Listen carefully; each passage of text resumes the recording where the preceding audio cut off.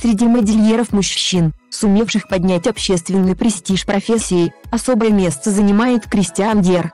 Он возвел высокую моду на высочайшую ступень совершенства. Во многом благодаря Диор модельеры сегодня называют свое ремесло искусством. Кристиан Диор родился 21 января 1905 года в портовом городе Гранвиль на берегу Ла-Манше. Когда ему было 6 лет, семья перебралась в Париж. По настоянию родителей Кристиан поступил в высшую школу политических наук. Но карьера дипломата его не прельщала, и учебу он забросил. После службы в армии Диер открыл картинную галерею, но разорился, долго не мог найти работу. И тут у него возникла неожиданная идея «Я буду шить». Известный модельер Робер Пиги поручил ему создать несколько платьев для будущей коллекции и взял на должность штатного модельера в своей фирме на площади Елисейских полей. Во время войны Диор перешел в первоклассный дом модели Люсьена Лилон и уже подумывал об организации собственного дела. Благо у него появился союзник, миллионер Марсель Буссак 12 февраля 1947 года в особняке на авеню Монтин прошел первый показ дома модели Кристиана Диора. Все 90 моделей вызвали восторг.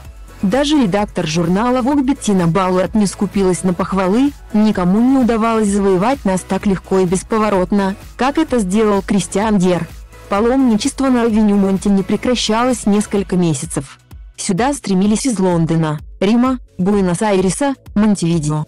Кристиан Диер говорил, «Мои первые платья назывались «Любовь», «Нежность», «Венчик», «Счастье». Женщины, с их безошибочным инстинктом, должно быть, поняли, я хотел сделать их не только красивее, но и счастливее. Моей наградой стало их признание. На показ второй коллекции Диора явились все американские закупщики до единого. И триумф повторился. Диор превратился в чародея, стал идолом моды. Женщины боготворили его. В фирму Диора ходили как на Эйфелеву башню. Среди постоянных клиенток – герцогиня Винцорска, Марго Фонтейн, принцесса Маргарет, Ава Гарднер, Лана Тернер. Частыми посетительницами салона были Марлен Дитрих и Элизабет Тейлор. Актриса Оливия Де Хевилин заказала у Диора в общей сложности 200 платьев. За год через фирм проходило 25 тысяч человек. Диор не собирался пересекать Атлантику, но директор далласской сети магазинов Нейман Маркус пригласил его в Техас на вручение премии «Оскар» за достижения в области моды. Когда Диор прибыл в Нью-Йорк, газеты писали о нем не меньше, чем о Уинстоне Черчилле. В Далласе его встречали 3000 человек.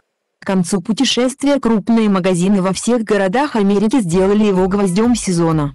Диор охвачен жаждой успеха, он открывает филиалы по всему миру. Под маркой Кристиан Диор выпускаются духи, шляпы, перчатки, сумки, ювелирные изделия, галстуки, чулки, меха и даже вина и ликеры. Фирма Диора – само совершенство. На этом сходятся все профессионалы. Никогда ни один модельер не имел такой популярности. Впервые посещая какую-нибудь страну, Диор называл одну из коллекционных платьев в ее честь. Объем продаж дома модели Диора неуклонно возрастал.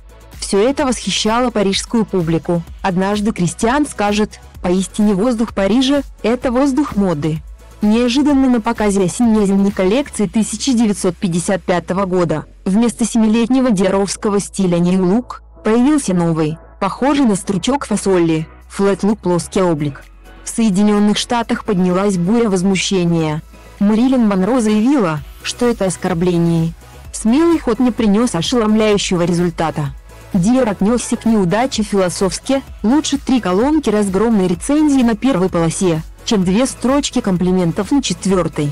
За 10 лет такой безумной жизни Диер постарел на все 20. Он надрывался, исполняя одновременно обязанности менеджера и художника, совершая утомительные поездки, выступая перед публикой, заботясь о расширении империи. Прославленный Кутюри умер 24 октября 1957 года от сердечного приступа. В Париже проститься с ним пришли принцессы крови, властительница Парижа и остального мира, титулованная знать, владельцы наследственных замков, коронованные особы, идолы власти денег, чья слава усилиями Диора засияла еще ярче. Необычайно внушительными казались венки, присланные из Голливуда. Траурный кортеж выехал на автостраду номер 7, ведущую на юг. Его путь лежал в Колен, именно эту деревню рядом с Коль-Нуардиер избрал местом своего успокоения. Под соснами Калианского кладбища был похоронен его отец Марис Дер. Основанная Диором фирма до сих пор процветает. Мадам Куника Цуцуми, представитель могущественной группы Себу, открывшая диаровской марке доступ в Японию, сказала, если звезды угаснут, последней исчезнет звезда Дер.